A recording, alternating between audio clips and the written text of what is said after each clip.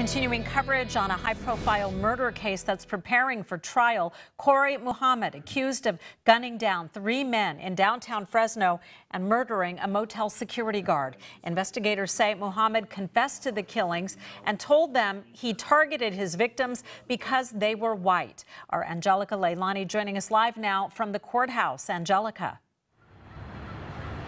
Well, Muhammad is facing four counts of murder and four counts of attempted murder, and the Fresno DA is asking for the death penalty. But today, it was all about the prosecution, the defense, and the judge hammering out the details and kind of laying a foundation of how the trial will go. It's been nearly three years since Kori Muhammad allegedly shot and killed 25 year old security guard Carl Williams at the Motel 6 on Blackstone in Ashlan. And then nearly a week later went on a shooting spree in downtown Fresno where police say he gunned down Zachary Randalls, Mark Gassett, and David Jackson. In the past, Muhammad has been in court to decide whether or not he was mentally fit to stand trial. And after being found competent, today the capital murder trial for Muhammad is finally moving forward. As he sat in the courtroom, Muhammad appeared to be rather composed compared to his previous courtroom outburst. Yeah, watch the weather.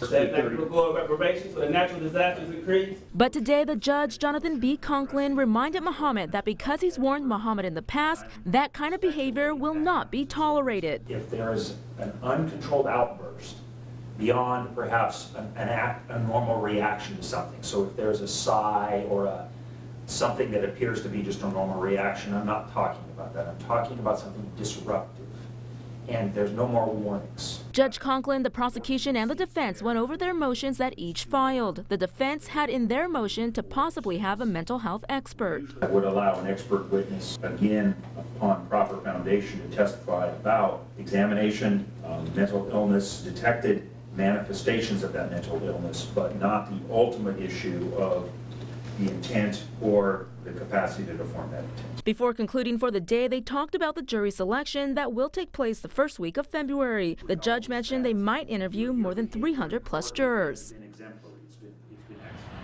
Now we reached out to the victims' families and they weren't quite ready to go on camera just yet, but Carl Williams' mother sent to me a statement saying that, uh, reading in part, our family is very happy that the trial is starting. My son Carl and all the other victims deserve to have justice and peace, and court will resume tomorrow at 10 in the morning to go over photos that could be considered in the trial, and then again, jury selection will start on February 3rd. Reporting live in downtown Fresno tonight tonight. I'm Angelica Leilani, KSEE24 Local News. That matters.